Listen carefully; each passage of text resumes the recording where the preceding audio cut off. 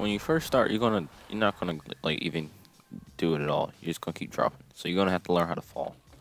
By spreading your legs and jumping over the bars. Real easy. Just jump. Leap of faith. So you're gonna have to put your head over the front wheel and then push the bars forward, which will make the seat go into your butt. And then you're gonna start feeling it.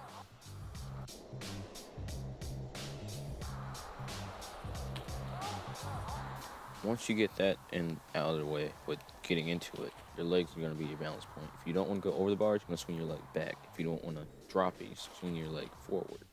And that's all is to it. That's how you do a hang five.